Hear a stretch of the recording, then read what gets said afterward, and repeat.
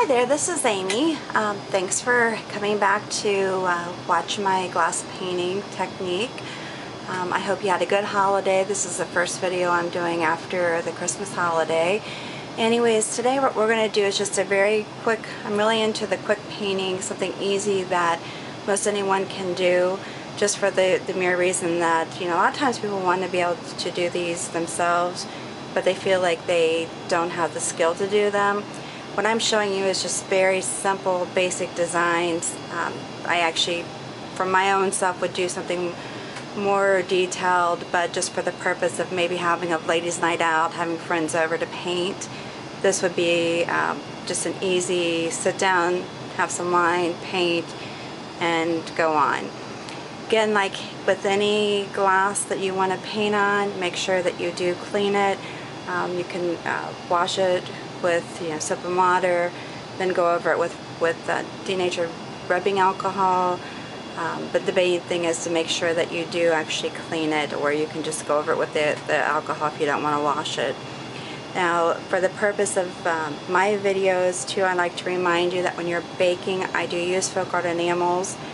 That's the primary paint that I use to, to paint on glass, but if you're choosing some other product, just make sure you do follow the manufacturer guidelines with folk art enamels. Um, they do recommend that you uh, bake them for 30 minutes at 350 degrees. They also do fully cure by air drying 21 days. With that being said, if you're going to bake your glass, the important thing is to make sure, no matter what type of glass you're using, that you do put it into the oven while the oven is cold, then preheat the oven with the glass inside I add my preheat time to my bake time. So for instance, my oven takes 20 minutes to preheat, so I'm actually baking the glass for 50 minutes. Then, real important, make sure that you do allow the oven to cool before you remove the glass. It's the sudden change in temperature that will cause your glass to break. Okay, so let's get started. Tonight, um, as I'm uh, showing you here, it's just going to be a real simple sunflower design. Again, very simple because I'm doing this to where you don't actually have to wait in between steps for it to dry before you proceed with the next.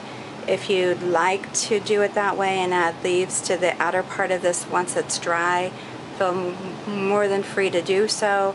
Again, this is just a basic design, uh, hopefully that anybody can do without much difficulty it's still an interesting glass. Like I said, I, I typically would uh, do this differently. If it, if it were me, I would actually, you know, add the leaves to the outer part of it and that type of thing. But again, it's not necessary just to have a fun glass, cheap. I like to use Libbey Glass. That's the product that I mainly use. I know a lot of people go to dollar stores to pick up their glassware. It just, it really doesn't matter. It, it's up to you. Now, basically what we're going to do to get started, I actually have on my palette these paints, the paint colors uh, would be burnt umber, burnt sienna, school bus yellow, sunflower, wicker white, and thicket green. Alright, so get started. I'm actually using three different scruffy brushes and one flat brush, which is approximately a 12 inch wide flat brush. Flat brush is what I'm using to do the petals. The scruffy brushes are what I'm using to do the inside of the flower plus the green. Alright, I'm going to start with the actual petals to the flower first.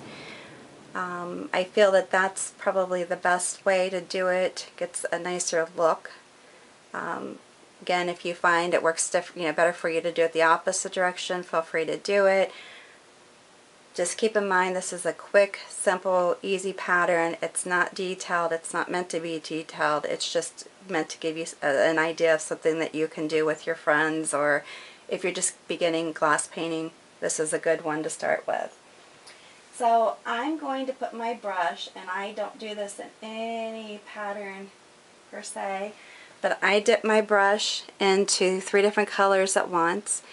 I actually do use the two different yellows that I mentioned and the wicker white and I also add just a touch of the burnt sienna. I'm going to place my brush on the glass and just, just give it a twist. Place my brush on the glass and just give it a twist. And you just continue going around the glass. I just, I personally keep reloading my brush. And your, your petals will vary. I mean, and that's okay. They don't have to be the same color. Um, and again, you know, I'm just loading, loading the brush. A little bit too much paint there on my brush. And I'm trying to keep keep the brush stroke so that there's a little bit of a space at the top for people to actually drink from the glass without touching the paint. Um, again, the paint is non-toxic but I would still recommend trying to keep it from the top if possible.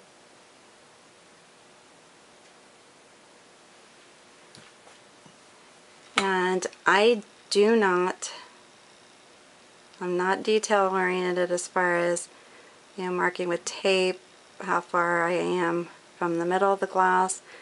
I just keep turning it and keep going.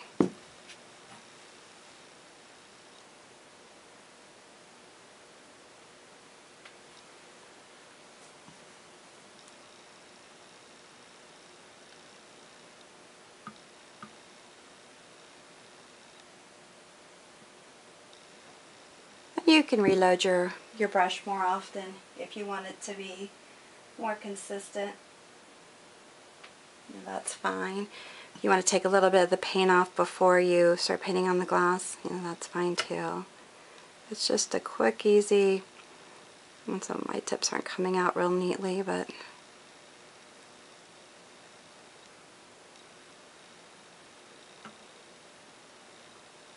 like I said, this is just for the purpose of the demonstration. Alright, so there you go with the petals. Sorry, I'm trying to keep it on here. There you go with the petals. And then the next step is I'm going to do the um, burnt umber first. And that's the, the darker of the browns. And this is the scruffy brush I'm talking about.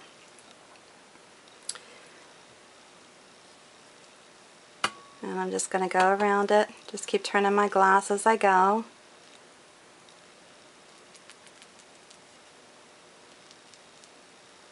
Again, it's not a precise thing. If you want to do taping and all that good stuff, go for it. I personally am not detail oriented as far as everything having to be, you know, precise. I'm going to go back over it again. I'd like for it to be a little bit darker. And two, you can you know peek in the inside of the glass and just see if you're covering, getting good coverage, so you don't have any real unpainted um, spots in, on the inside. I'm going to go ahead and go ahead and load my brush again because I like it to be a little bit darker.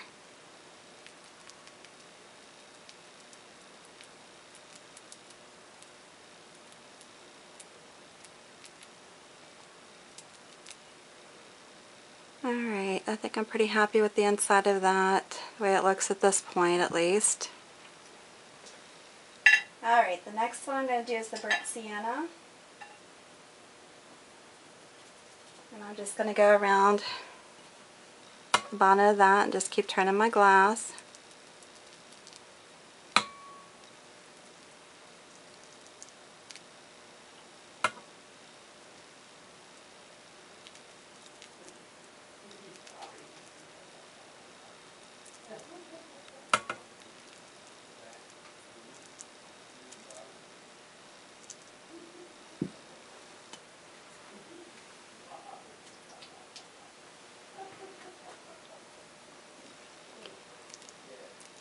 Like I said, I hope all of you had a nice holiday. Unfortunately, mine was kind of crazy. My husband was sick, which kind of put a damper on it, but oh well, what are you going to do? Alright, so you look inside there and just see if you're happy with the inside. If not, just go back over it, add more paint, and then just keep on going. And then the final color is going to be the Thicket Green. And that will just be pounced on at the base of the glass.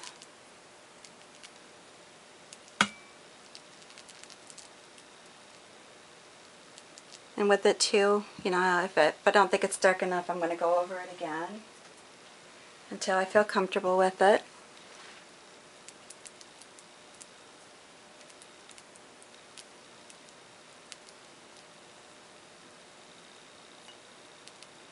And again, I just hope you understand that this is just a basic design. Not supposed to be anything elaborate. That's intentional. And just so you can see the inside of it at this point. Now if you want to come down further, you can on your stem. If you want to do the stem all green so that it's like the vine of the flower, hey, more power to you.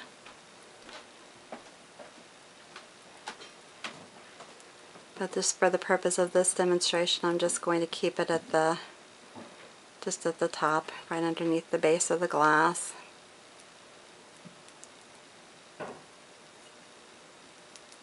Now, if you decide that you want to add leaves to the top and cover up the outer part of the glass, again, feel free to do so.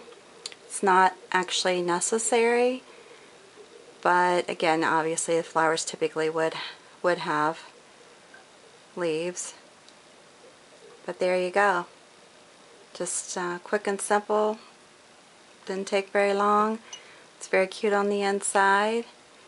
And uh, just a fun little glass. Have your friends over, drink your favorite wine, and you'll be ready to, to go with your cute little wine glasses. Uh, please let me know if you have any questions. Feel free to, to subscribe to my channel. Uh, I would love to hear any comments, suggestions, anything that you have to say, please leave comments. I, I like to read those. Or if you have any questions about glass painting in general, feel free to ask. Anyways, well have a good evening. Thanks so much for stopping by.